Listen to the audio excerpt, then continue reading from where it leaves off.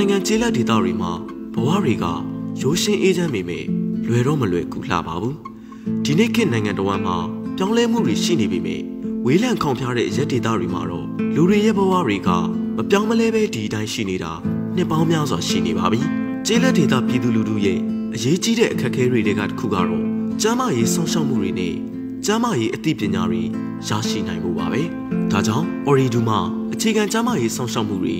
အခမဲ့ဈေးဝါးထောက်ပံ့မှုတွေဖြည့်ဆည်းပေးနိုင်မှုအတွက်စတင်လှုပ်ဆောင်ခဲ့ပါတယ်။ Oridu နဲ့ပတ်မြန်မာမှာပူးပေါင်းပြီးသွာလာရခက်ခဲတဲ့ကျေးလက်ဒေသတွေအတွက် Oridu မှာအခမဲ့ရွာရောက်ကျန်းမာရေးဝန်ဆောင်မှုကိုစတင်မိတ်ဆက်ပေးခဲ့ပါတယ်။ပတ်အဖွဲ့ဟာမြန်မာနိုင်ငံကိုကျေးလက်ဒေသဖွံ့ဖြိုးရေးနယ်ပယ်မှာတက်တန်းအကြဆုံးလှုပ်ဆောင်နေတဲ့ NGO တွေကတစ်ခုဖြစ်ပါတယ်။ Oridu ရဲ့အခမဲ့ရွာရောက်ကျန်းမာရေးဝန်ဆောင်မှုကိုဆရာဝန်တွေသူနာပြုတွေက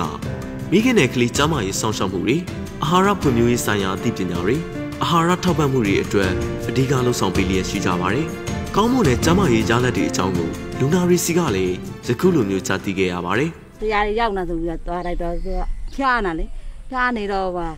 ဖျားတာလို့ပါလို့သူတဲ့တော့ကိုကမသိဘူးဆရာတွေကကဲလို့မကိုသားသမီးအသက်ရှင်တာပဲခုခါဆိုခုလောက်ဆိုဘယ်ရှိတော့ရှိမှာမဟုတ်ကျမခုပြောင်းခုမျက်နှာတွေတားငယ်တယ်ကျမကျေးဇူးဘယ်တော့မှသက်ရမှမသိဘူး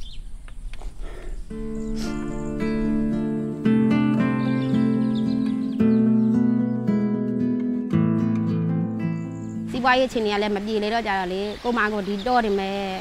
ရက်တဲ့တဲ့နဲ့ပဲမွေးမဲ့ပေါ့အဲ့လိုမျိုးပဲပေါ့လူဆရာဆရာမတွေကဒီမှာတဖန်ခိုင်းမှာလာကုတ်တယ်လာကုတ်တဲ့ခါကျကျမတို့သွားပြတယ်ပေါ့ပြတဲ့ခါကျဆရာဆရာမတွေကဒီလိုမျိုးပဲပေါ့ မွေးလာကြောနေပြီပေါ့မွေးရက်ကလုံးနေပြီအာစေကန်းကိုပဲသွားပြလိုက်ပါပေါ့ကလေးလေးတွေလက်လောက်ထီကြီးပြင်းလာတာဆရာဆရာမရဲ့လည်းပါပေါ့အများနဲ့ကားနေဒီလိုမျိုးလာလာနေတော့ကျတော့ပိုကောင်းတာပေါ့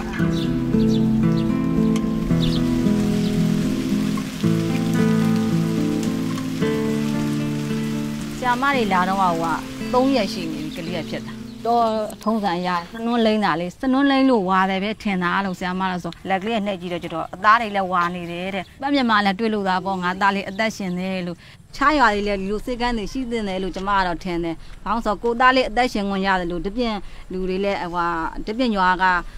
လူတွေလည်းအဲ့လိုအသက်ရှင်အောင်လို့ပေါ့အသက်ရှင်ခွင့်ရအောင်လို့ကိုလိုပဲကိုချင်းစာမိတာပေါ့ကျမနာမည်ဒေါက်တာဝီသူသူအောင်ပါအခုဆိုရင် Ori2 ကနေပြီးတော့တန်မိုးကူညီထောက်ပံ့မှုနဲ့အတူပတ်မြန်မာနဲ့ပူးပေါင်းပြီးတော့အခမဲ့ရွှေလျားစီကန်းတွေကိုကြေးရွာတွေမှာဖွင့်လှစ်ကူတာပေးနေပါတယ်ကျေးရွာတွေမှာဆိုလို့ရှိရင်ခရီးသွားလာရေးခက်ခဲမှုတွေလမ်းပန်းဆက်သွယ်ရေးခက်ခဲမှုတွေကျန်းမာရေးအသိပညာနည်းပါးမှုတွေကြောင့်မလို့စေုံစီကန်းဟိုသွားဖို့ ဟိုအခက်ခဲတွေနှောင့်နှေးကြကြမှုတွေဖြစ်နေရပါတော့။အားကြောင့်ကျမတို့ကရွာတွေရောက်စေုံစေကန်းတွေဖွင့်ပေးတယ်အခမဲ့ရွှေလျားစေကန်းတွေဖွင့်ပေးရပါတော့။တောက်ဆေးပေးရပြီးတော့ကျမရေးဘ ഹു တာပညာပေးတာတွေလည်းပြုလုပ်ပေးတာတွေလုပ်ပေးတယ်။အခုလိုပြုလုပ်ပေးတဲ့အတွက်ရာသူရာသားတွေဟာကျမရေးအသိပညာတွေပို့ပြီးတော့တိုးတက်လာတယ်။ရွာရောက်လဲကျမရေးဝန်ဆောင်မှုပေးတဲ့အတွက်သူတို့မှာခက်ခဲကြံ့ကြာမှုတွေကိုသူတို့အတွက်ဟိုဖြေလျှော့ပေးရပါတော့။အခုလိုမျိုးလုပ်ပေးရတဲ့အတွက်ကျမတို့ကလည်းဝမ်းသာမိပါတယ်။